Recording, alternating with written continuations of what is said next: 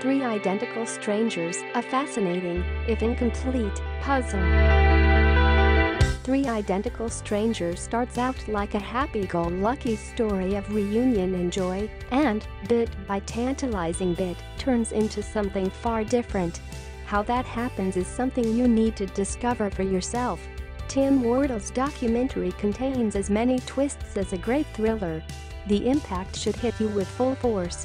The film begins with a story some may be familiar with. In 1980, Robert Shafran showed up for his first day at community college in New York. He was greeted by people who treated him like an old friend. One woman kissed him on the lips.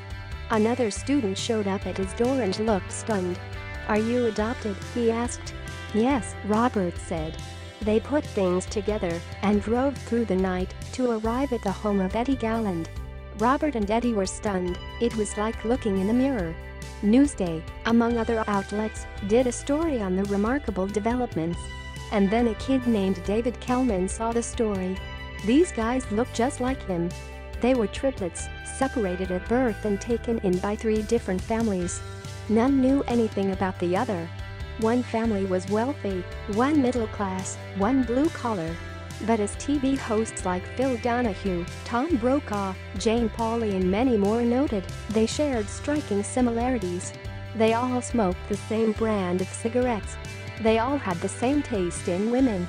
They shared certain mannerisms. They became stars of the 80s tabloid variety. They opened a steakhouse. They had a cameo in Desperately Seeking Susan, ogling Madonna for a few seconds as she saunters past. Eventually, they went away, disappearing from the public eye. Naturally, that's when things get really interesting. Even the most cursory look at their story brings up nagging questions.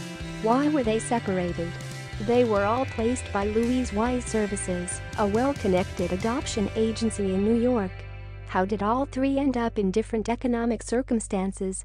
Why did all three families have an older adopted sister, all the same age, are they as alike as they seem? Wardle provides answers, such as he can find. He relies a little too much on reenactments, but not to a distracting degree. Contemporary interviews include the occasional reaction to newfound information. Lawrence Wright, the New Yorker writer and Pulitzer Prize-winning author, investigates, as well. Every revelation leads to another, more frustrating one, it seems. It's striking, early in the film, when the triplets are reunited, how elated they are to be in each other's company. Anyone with siblings can attest, of course, that it's not all hugs and happiness. That's true with these three too. There are successes and failures, joys and tragedies, as with any family.